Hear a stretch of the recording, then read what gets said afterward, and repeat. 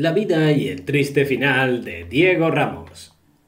Diego César Ramos, actor argentino, conocido en toda Latinoamérica. Nació el 29 de noviembre del año 1972, en Almagro, Buenos Aires, Argentina. El amor por la actuación lo tuvo desde muy niño gracias a la dedicación que le inculcaron sus tías quienes siempre lo llevaban al cine y al teatro. Cuando cruzaba la secundaria participó en un grupo de teatro, que montaba sus propias puestas en escena. Ya un poco más experimentado y con 18 años, comienza a estudiar arte dramático, a la vez que toma cursos de canto, baile, tango y rap. Su debut en la televisión sería gracias a la casualidad, cuando coincide en una obra teatral con la productora Montaña Rusa en el año 1994, quien lo invita a convertirse en parte del elenco, haciendo el papel de Maxi. Aparece en otros programas de la pantalla chica, como El último verano o como Pan Caliente. Hasta que el productor Alejandro Romay le propone ser el protagonista en Ricos y Famosos, al lado de Natalia Oreiro en el año 1997. Y así continuó incursionando en la pantalla chica. Sus más recientes proyectos han sido el que realizó en el año 2011, en una telecomedia de emisión diaria, llamada Señor y Señora Camas y antes de terminar el año, queda convocado para actuar en Violeta, una teleserie del sello Disney Channel, estrenada en el mayo del 2012. Ganó el premio Martín Fierro al mejor actor de reparto en una comedia en el año 2009 por su papel en Los exitosos Pels. Diego Ramos opinó sobre el miedo a la traición que bloqueó a Jorge Rial. Es obvio que habló de Mariana Calabró. El actor se refirió a las heridas abiertas que dejó el final abrupto del programa de televisión Nostra. A dos meses del abrupto y sorpresivo final de Televisión Nostra, el fin de semana, Jorge Rial salió con los tapones de punta contra sus excompañeros.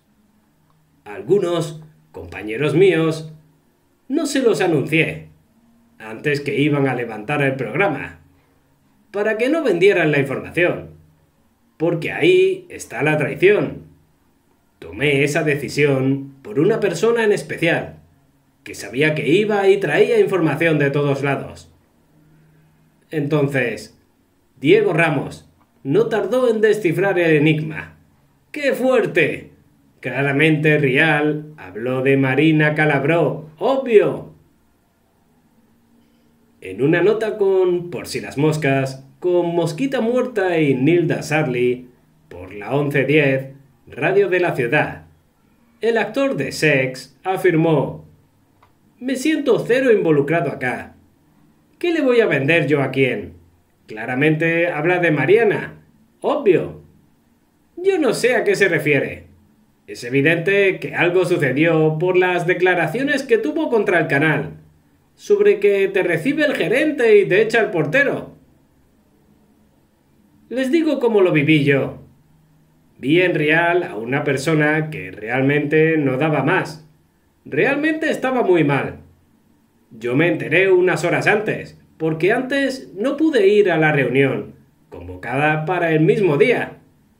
Visto de ese lado, si tenía miedo de que se filtrara, yo lo entiendo. Ahora, yo no se lo iba a filtrar a nadie. Si lo hubiera sabido dos días antes, capaz que lo asimilaba un poco más. Pero no importa. Continuó Ramos. Así Diego se desligó de los dichos de Rial. Ahora no tengo la más mínima idea de las internas. Yo fui convocado para un programa de humor. Iba, me sentaba y me iba. Nunca tuve problemas, ni siquiera con él. No sé qué habrá pasado. Me parece que está hablando de traiciones a un nivel mucho más alto, donde yo no corto ni pincho. Había ejecutivos del canal que, lejos de hablar mal de él, fueron a apoyar su decisión, y desde algún lugar hasta justificarlo, ante los que quizá podíamos llegar a tomar mal la decisión. Sé que Marina estaba muy dolida por esto. Realmente me sorprendió enterarme a una hora antes. Pero yo no venía hablando con él. Sé que Marina supuestamente venía hablando con él y que él nunca le dijo nada. No quiero hablar por ella, pero tenían una relación. Yo lamento lo que pasó porque me quedé sin laburo y la manera en la que se cayó pues me duele. Cerró Diego Ramos sobre el tiro por elevación de Rial a Calabró. Aunque la primera que había hablado de traición había sido Marina Calabró, en una entrevista con Ciudad, al analizar la decisión de Jorge Rial de terminar TV Nostra de forma unilateral y comunicar la decisión a minutos de salir al aire el último viernes de mayo. Lo vivo como una traición porque teníamos un diálogo diario. Esto es así y no lo puedo ocultar. Por eso hablo de problemas reales al tratar de puteada de tránsito lo que pasó con Pampita. Lo que pasó con Jorge fue una gran decepción es una persona en la que confiaba laboralmente y me dio un cachetazo de esa magnitud. Muchas gracias por escuchar la historia de vida de Diego Ramos. Os deseamos buena suerte y nos vemos en los próximos vídeos. Hasta pronto.